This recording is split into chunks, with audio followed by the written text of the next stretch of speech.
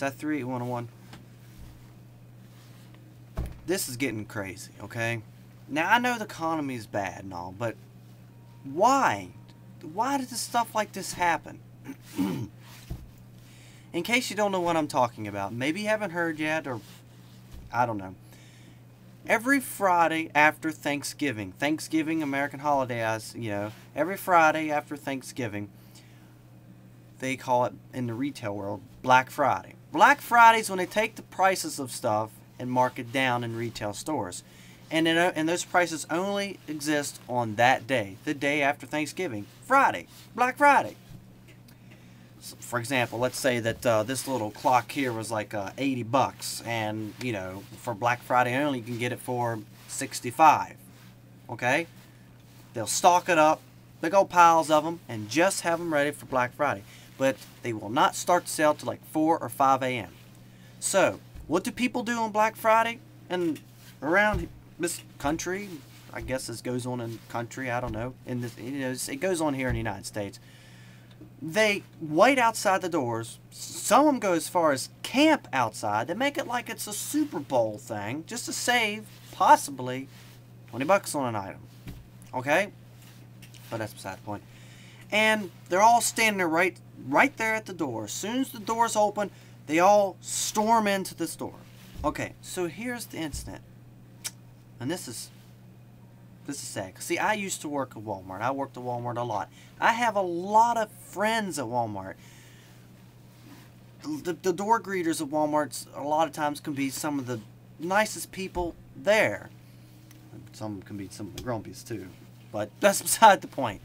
Thing is, you, someone out there, could you just imagine you killed somebody because you did not regard their safety, their well-being, their life, just so you can go get that laptop, that flat screen TV, or whatever in the hell it was you wanted. So you just ran right over the person. I don't know whether it was a man or a woman.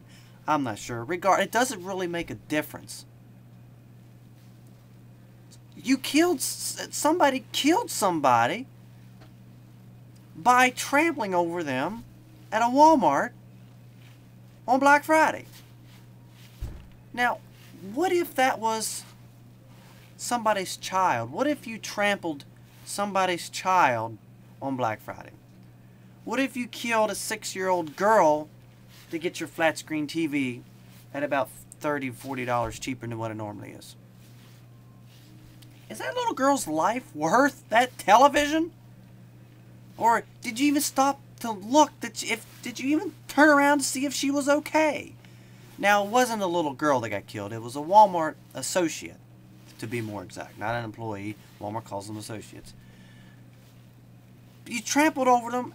You can't tell me you can't notice somebody under. I mean, the last time I walked on somebody, and it has happened at some of our New Year's Eve party, you know, it's very unstable. It's very well noticeable. And you mean to tell me that you had no idea? Of course, it's, it's like vultures. I mean,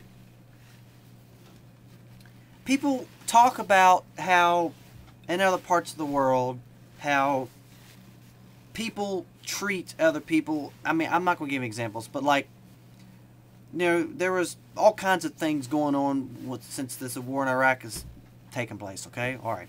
So, what makes any different? Somebody doing their job and they get killed for it because you have no regard to their.